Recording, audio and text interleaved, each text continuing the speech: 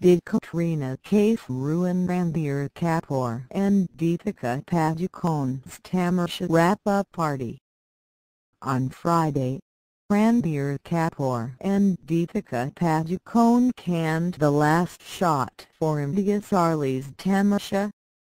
Following this, the two got emotional and broke down post the shoot. On Saturday night, the film's producer, Sajid Nadiadwala organized a wrap-up party for the entire team of Tamasha. The film's leading stars, Ranbir and Deepika were present at the do along with Imtiaz Ali and film's co-producer Siddharth Roy Kapur.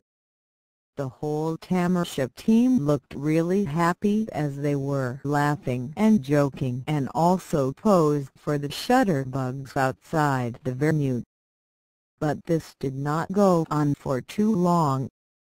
Our sources present at the venue told us as the cast and crew were celebrating the ramp-up of their upcoming film. They were shocked when they saw Katrina Kaif who was an unexpected visitor at the venue. She had dropped by to meet Ranbir. With Ranbir's present and ex under the same roof, the warmth on the set fizzled out. The source mentioned that there was a sudden burst of cold stares between Cobb and DP. Well, we wonder why Katrina turned up at the wrap-up party. Did she come to meet RK or to keep a check on him? What do you think?